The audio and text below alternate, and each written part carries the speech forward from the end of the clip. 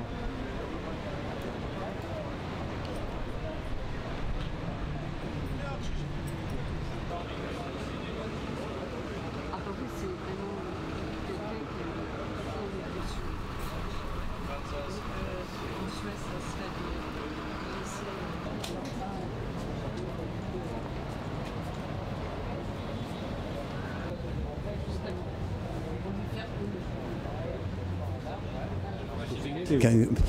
Si on vous demande de retenir une image de Jacques Chirac, vous avez euh, un Français sur deux qui va vous parler du salon de l'agriculture.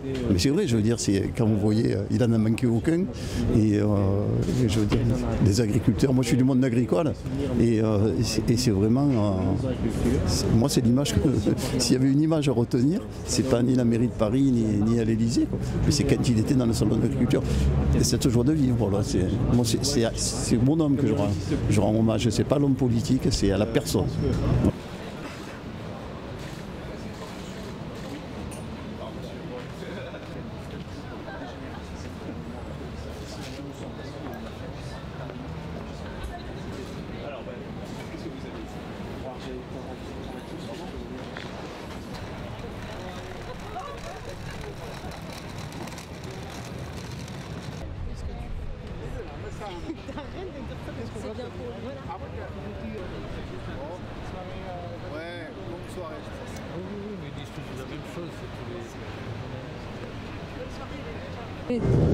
C'était un homme politique et un homme cultivé, mais quand il parlait, on n'arrivait pas à percevoir cette culture qu'il avait du Pacifique, euh, qu'il aimait beaucoup.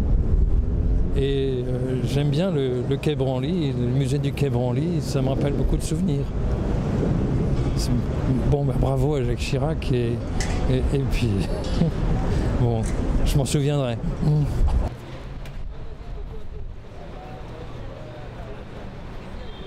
Oui, c'est ce qui lui a permis d'avoir cette carrière exceptionnelle euh, en politique. Euh, oui, c'était certainement un requin, c'était certainement quelqu'un de, euh, de, dur avec ses adversaires. on sait aussi que face à Mitterrand ou face à Le Pen, il a été très virulent. Et ça fait partie de ces grands hommes qui, qui, disparaissent les uns après les autres. Et puis il a été aussi face à Giscard. Enfin voilà, donc c'est quand même quelqu'un qui a un parcours exceptionnel et, ça on on peut pas lui retirer.